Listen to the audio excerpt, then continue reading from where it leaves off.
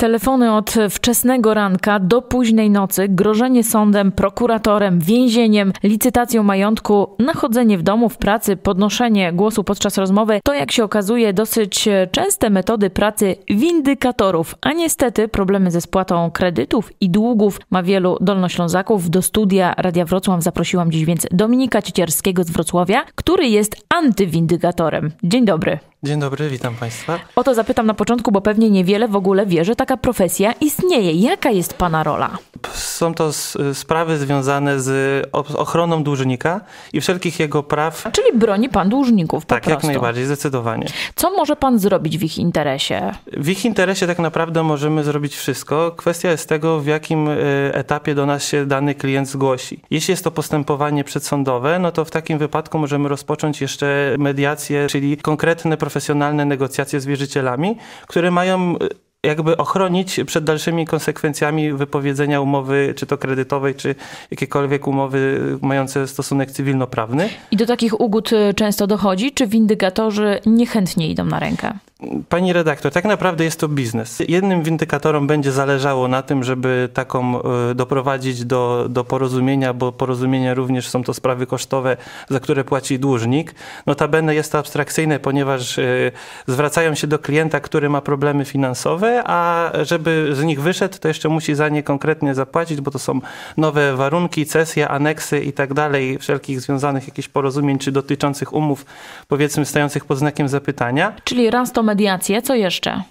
Mediacje. Jeśli są sytuacje takie, że już powiedzmy klient do nas się zwróci, że umowa już jest, minął jej jest skuteczne wypowiedzenie, no to wtedy pojawia się tak naprawdę y, zaawansowany y, system, y, tak jak to nazywamy wewnętrznie w kancelarii. Wierzycielowi zależy na tym, żeby zbudować skuteczny pozew przeciwko naszemu dłużnikowi, a z naszej strony jest, działania polegają na tym, aby ten pozew jak, naj, jak najpóźniej się pojawił w sądzie, jeśli w ogóle się pojawi.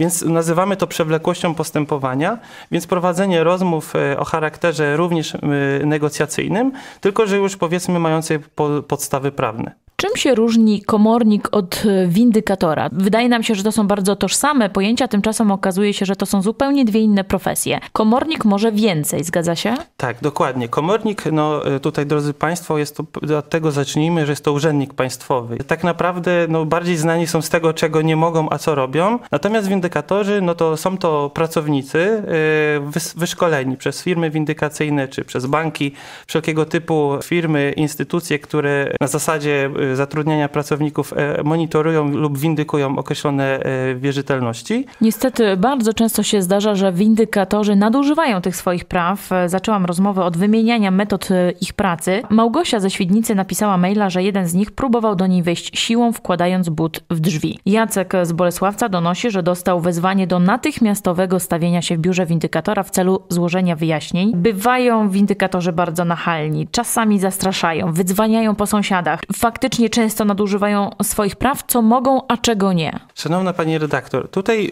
y, problematyka tego zawodu polega na tym, że praktycznie jego, jego profesja trudni się, się tym, że jest to tak zwany efekt success fee, czyli im więcej y, wierzytelności zostanie wyegzekwowanych od dłużnika, niezależnie od tego, czy on ma pieniądze, czy nie.